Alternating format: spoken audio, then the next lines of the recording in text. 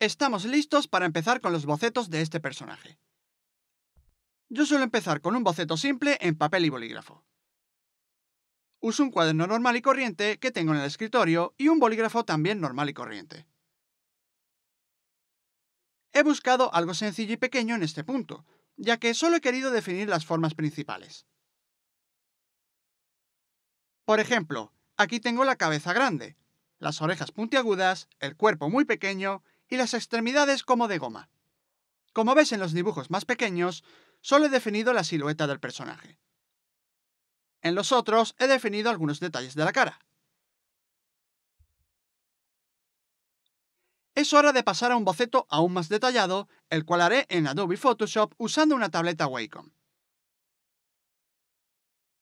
No pasa nada si no tienes una. Puedes usar papel y lápiz y luego escanear el boceto o sacar una foto e importarlo en Adobe Photoshop.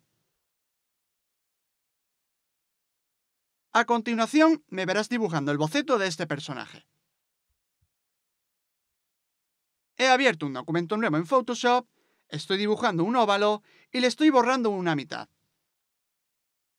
He duplicado esa capa y he volteado la mitad del óvalo para obtener un óvalo que es totalmente simétrico.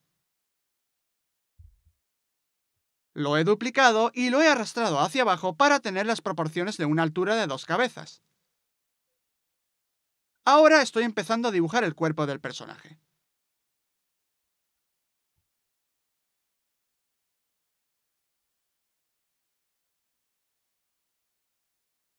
Y ahora la pierna. Más o menos voy añadiendo detalles de la cara, por ejemplo, los ojos.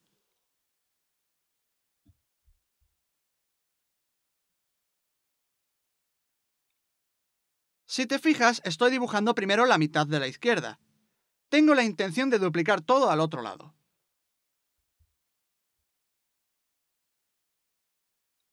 Ahora, el pelo, la oreja, etc.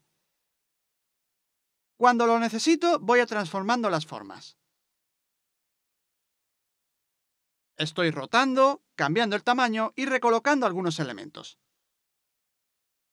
Se le puede sacar buen partido a la función de transformar de Photoshop. He copiado todo lo que hay a la izquierda, he creado una nueva capa y lo he arrastrado al otro lado para después voltearlo. Así he obtenido el reflejo. De esta manera tengo un boceto simétrico. Como ves, sigo ajustando cosas. Estoy cambiando la escala de algunos elementos y probando distintas proporciones y formas usando la función de transformar.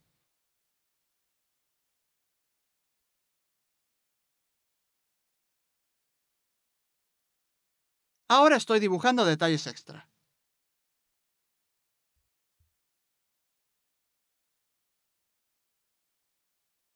Sigo cambiando cosas usando la herramienta lazo y la función de transformar.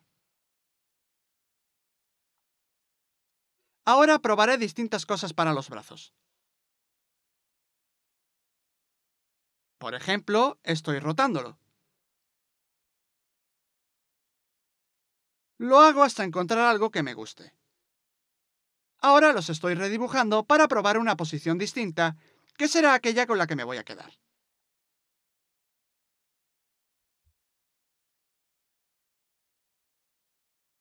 Ahora estoy dibujando las alas y me estoy asegurando de que cada parte del personaje encaja con el resto de los elementos.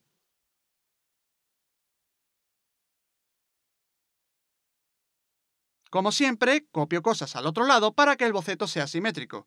Y eso me ahorrará tiempo en Adobe Illustrator, ya que no tendré que ajustar nada. Todo estará más o menos listo para la vectorización.